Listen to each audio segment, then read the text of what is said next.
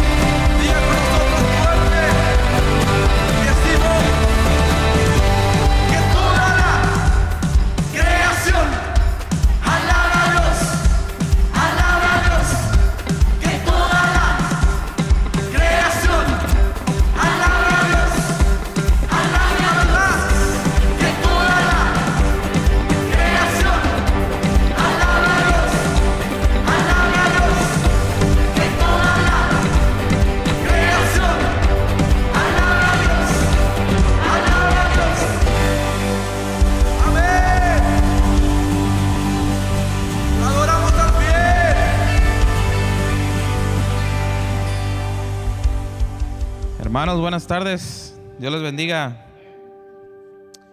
Voy a leer Hechos, versículo 20, capítulo 35. En todo os he enseñado que trabajando así se debe ayudar a los necesitados y recordar las palabras del Señor Jesús. ¿Qué dijo? Más bienaventurado es dar que recibir. Hoy vamos a orar por las diezmos y ofrendas, hermanos. Les voy a pedir que cierren sus ojos, inclinen su rostro para poder hacer una oración. Padre amado, he aprendido de tu palabra que debe de ser de corazón generoso. Hoy traigo mis diezmos y ofrendas para que haya alimento en tu casa, para poder bendecir todas las necesidades de la iglesia y cualquier otra necesidad que hoy tengamos de corazón. Gracias, maravilloso Dios. Amén. Amén. La Biblia dice que Dios bendice al dador alegre.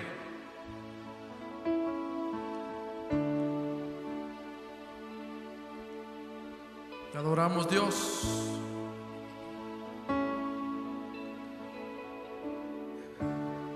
Semana posiblemente tuvo mala semana o tuvimos una mala semana. Pero ahorita usted y yo estamos en la casa de Dios, donde podemos renovar nuestras fuerzas, donde le podemos decir, Señor, tú sabes lo que pasé, lo que estoy pasando, pero tú eres más poderoso.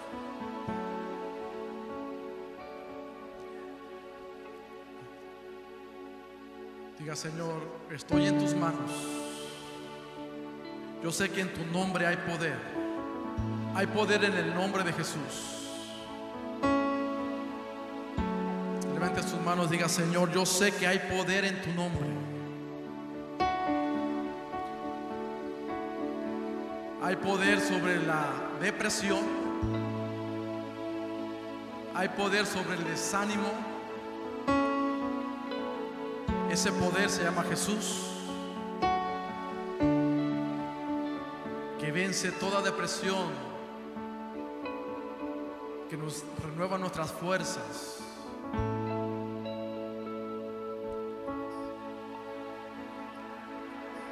Alabamos tu nombre, Dios.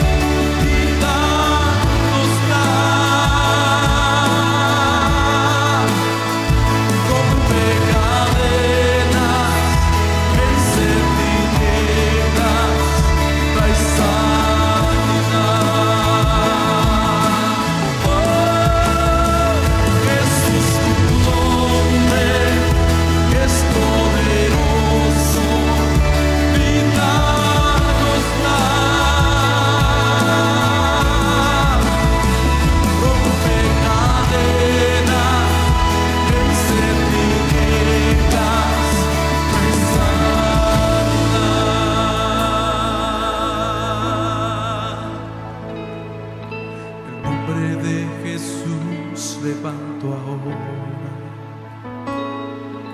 sobre cada mente y corazón.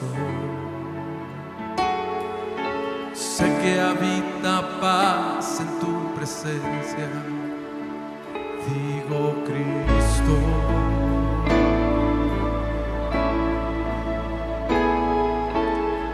en ese momento de tristeza, de ansiedad, de temor. Podemos levantar nuestra mirada al cielo, hacia Jesús, y Él renueva nuestras fuerzas.